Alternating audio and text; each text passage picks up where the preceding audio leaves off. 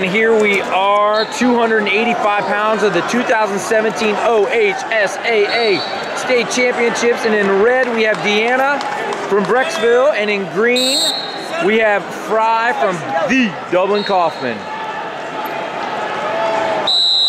And we are out ready. Oh, Frye on a collision course with a takedown.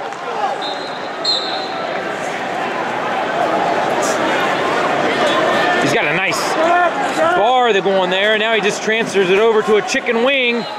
He's got him on his back. Frye.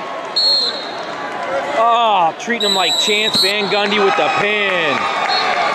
Frye, your winner at 35 seconds. Dublin Coffman on to round two.